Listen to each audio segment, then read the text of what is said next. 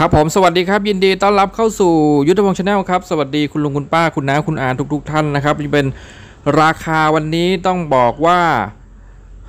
เดี๋ยวรอฟังแล้วกันนะครับ มีพี่น้องเราถามเข้ามาแอดมินยุทธช่วยลงราคาให้หน่อยถามหน่อยนะครับสืบให้หน่อยวันนี้ ผมเองก็ต้องมาแล้วนะครับ เมื่อวานไม่ได้ลงคลิปเลยพี่น้องถามเข้ามาเยอะเลยทั้งคอมเมนต์ทั้งไลน์ทั้ง Facebook นะครับถามกันเข้ามาเยอะผมเองก็ต้อง เอามาลงให้นะครับ ขอบคุณพี่ๆนะนะที่ส่งมอบราคามาให้วันนี้ ภาคใต้และภาคตะวันออกราคาจะแตกต่างกันยังไงในวันนี้นะครับ ติดตามข่าวสารบ้านเมืองเรานะครับ หลายพื้นที่ตอนนี้ภาคตะวันออกเองนะครับ เงาะก็ยังมีอยู่ออกพี่น้องชวนไปหลายท่านอยู่ไม่ได้ไปเลยนะครับ ขอประทานอภัยด้วยนะครับ โอ้ยไม่ว่างจริง ๆ ครับ วันนี้มีราคามานะครับ ก็ฝากพ่อแม่พี่น้องนะครับ ขอบคุณที่ยังเป็นกำลังใจให้ผมนะครับ ฝากกดไลค์กดแชร์ วันนี้จะลงคลิปให้สั้น ๆ นะครับ 2 นาที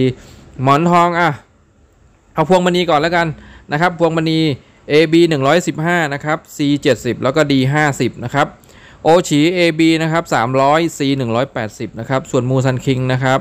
AB 270 แล้วก็ C 150นะครับ ทางด้านหมอนทองนะครับ AB วันนี้ 115 ถึง 120 นะครับ C 85 แล้วก็ D 80นะครับ ส่วน ABC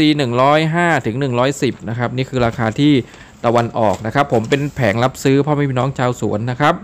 ส่วนที่ชุมพรสามไม้เขาปีบวันนี้ราคามีการรับซื้อมากที่สุด AB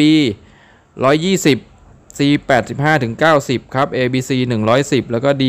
75 นะครับ หรือใครมีราคาที่ดีกว่า